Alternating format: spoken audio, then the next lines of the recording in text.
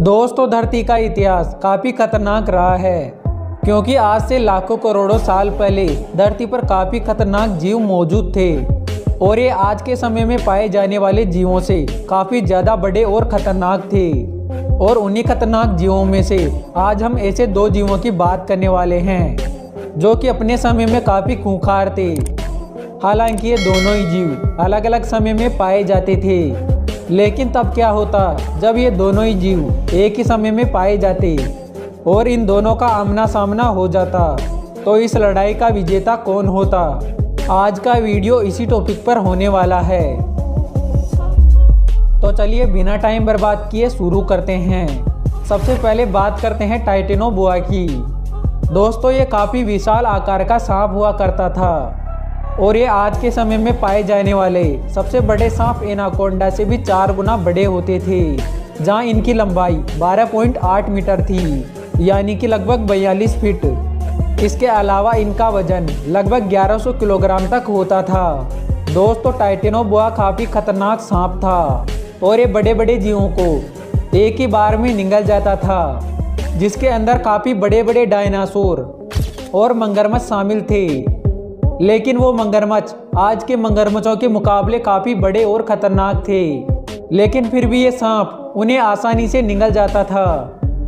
टाइटेनो बुआ के पास सबसे खतरनाक जकड़ने की ताकत थी, जिस कारण ये अपने शिकार को जकड़कर मार डालते थे और फिर शिकार के मरने के बाद उसे निगल जाते थे। दोस्तों, ये सांप काफ़ी खतरनाक कंडीशन में भी सरवाइव कर पाते थे। ये सांप लगभग 90 डिग्री टेम्परेचर होने पर भी अपने आप को ज़िंदा रख सकते थे। हालाँकि ये सांप चलने में थोड़े सुस्त होते थे, क्योंकि इनका शरीर और आकार काफ़ी बड़ा था। लेकिन फिर भी ये सबसे खतरनाक जीवों में से एक था।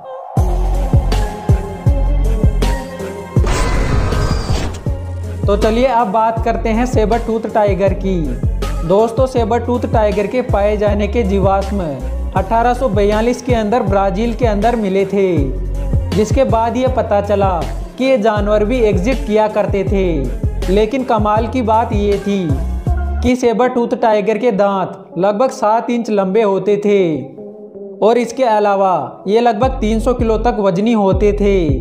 सबसे बड़ा सेबर टूथ टाइगर लगभग 480 किलोग्राम का माना गया है। और इसकी लंबाई व ऊंचाई की बात करें तो ये 2.3 मीटर लंबे और 1.2 मीटर ऊँचे होते थे। लेकिन इनका शरीर काफ़ी मस्कुलर हुआ करता था और ये अपने से कई गुना बड़े और भारी जानवरों को भी मार गिराते थे, जिससे इनके पास ताकत भी बहुत ज़्यादा हुआ करती थी, जब से वह टूथ टाइगर शिकार पर हमला करते थे। तो ये सबसे पहले शिकार पर अपने लंबे और नुकीले दांत गड़ा दिया करते थे और फिर उसके शरीर को चीर फाड़ डालते थे। क्योंकि सेबर टूथ टाइगर के दांत किसी तलवार की तरह ही होते थे, जो कि काफ़ी पेने होते थे। इसके अलावा सेबर टूथ टाइगर की रफ्तार 45 से 55 किलोमीटर प्रति घंटे की होती थी, जिस कारण ये दौड़कर भी अपने शिकार को आसानी से पकड़ लेते थे। तो दोस्तों, यहाँ पर दोनों ही जानवर अपने अपने समय के काफ़ी खतरनाक शिकारी थे, लेकिन वही बात आती है इन दोनों दानवों के बीच लड़ाई की।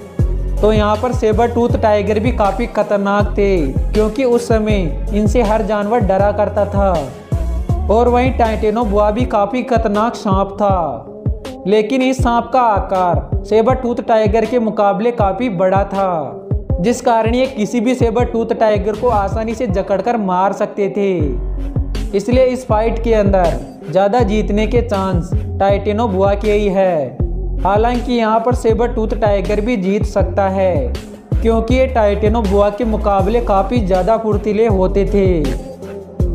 लेकिन फिर भी इस लड़ाई का ज़्यादा एडवांटेज टाइटेनो बुआ के पास ही है। खैर दोस्तों, आपका इस फाइट के बारे में क्या कहना है? आप भी अपनी राय कमेंट बॉक्स में बता सकते हैं।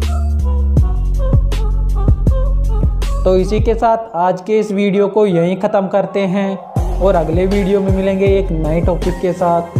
तब तक के लिए बाय